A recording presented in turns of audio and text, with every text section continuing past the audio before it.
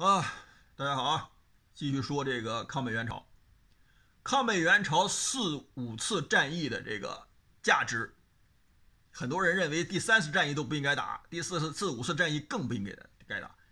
这些人就完全不考虑这个其他的事情，就是就是那种赌徒心理，占了便宜就想跑，还以为自己跑得了，还以为强者会会会会让你占了便宜之后。呃不不不继续这个这个追究，这里有很多很多假设，呃都是不成立的。第四、第五次战役呢，苏苏联空军就参加了，这就创造了一个什么机会呢？这个机会是，我想只有毛主席能想象到。毛主席的这个这个思维的这个这个高瞻远瞩啊，这个高度，他操作的那个高度，超出现在人类不知多少，以至于呢，如果主席手上再有点物质资源的话，那真是真是不可思议。打个比方吧。中国当时的这个军力，当然了，我们自己因为有毛主席这样的统帅，我们中国人对中国的陆军还是信心很大的。别人不这么看的，而且而且事实，近代一百多年这个。战争的这个历史，事实也也不是这样的，也是中国非常之弱。所以呢，中即便是中国的强项，这个陆军，在别人眼里，我想打个比喻啊，用用用足球来比较一下，也不比国足强多少。那就更不用说这个空军了。如果说中国陆军当时在世界上的地位比今天的国足要好一些的话，那么中国的空军当时在世界上地位恐怕比不了今天的国军。那么。怎么建立一个国？呃呃，中国空军，这个是毛主席考虑的问题。很多人考一看抗美援朝，哎呀，就觉得占了便宜赶快跑。毛主席还要考虑怎么建立一个空军的问题，要从朝鲜战场上打出一个空军来。很多人。能够看到这个朝鲜战争或者说抗美援朝对苏联的利益啊，说是啊为为了毛子打的，可以，我可以承认这一点，对很多人都有用嘛。一件事情不可能只对你有用，那么既然对毛子有用，那就要一直打到让毛子出一点代价呀。如果第一次、第二次战役、第三次战役就结束了，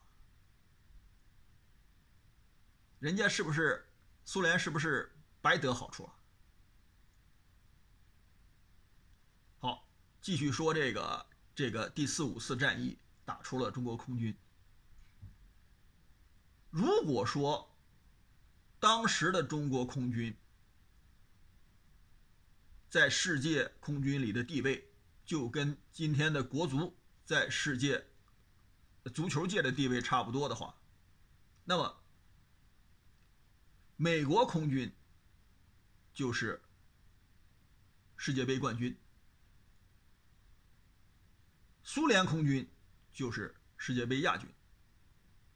美国空军是天下第一高手，苏联空军是天下第二高手。中国空军呢，那就是个菜鸟。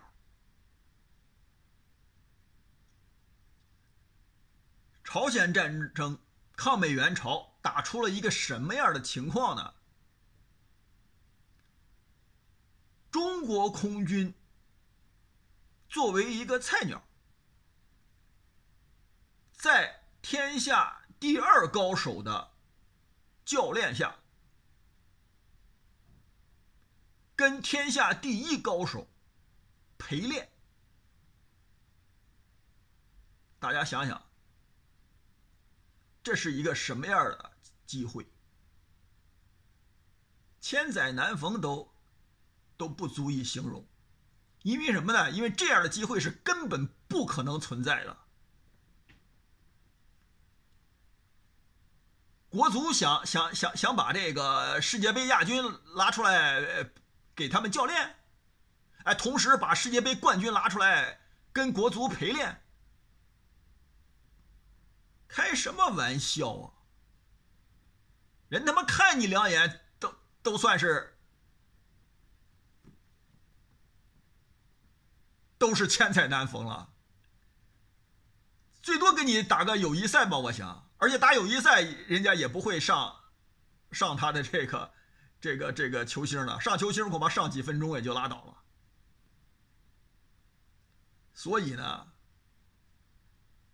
朝鲜抗美援朝第四五次战役打出了中国空军，从此中国有了陆军和空军，当然了，海军还还需要时间，而且呢。中国空军是在天下第一高手的陪练下，天下第二高手的教练下，浴火在战火中成长起来。这句话大家听了，可能中国人真是中国人，近代自己都瞧不起自己。这句话大家听了之后，可能不觉得什么。很多人都都佩服以色列空军吧？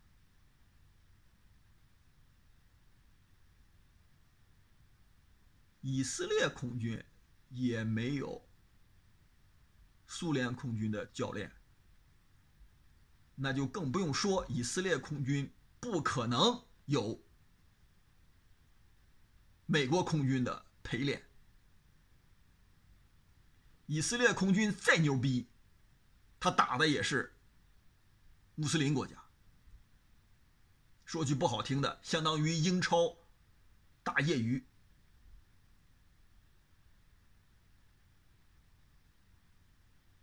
以色列再牛逼，他他他他他跟美军来一次实战经验试试。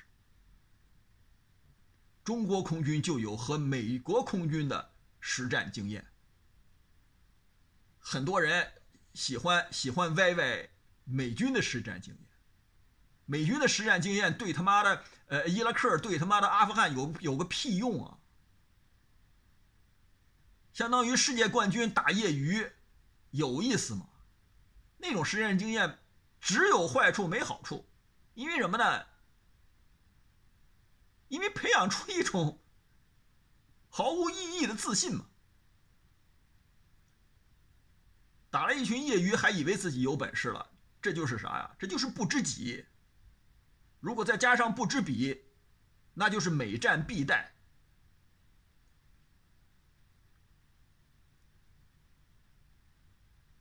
所以，大家看看抗美援朝的这个这个价值有多高。